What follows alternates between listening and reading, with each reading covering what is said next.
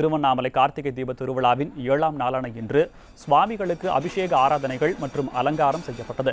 இதனைத் தொடர்ந்து முதலாவதாக விநாயகர் தேருக்கு சிறப்பு பூஜைகள் செய்யப்பட்டது. காலை ஆறு முப்பது மணியளவில் இந்து சமய அறநிலையத்துறை அமைச்சர் சேவூர் ராமச்சந்திரன் தேரை வடம் பிடித்து இழுத்து தொடங்கி வைத்தார்.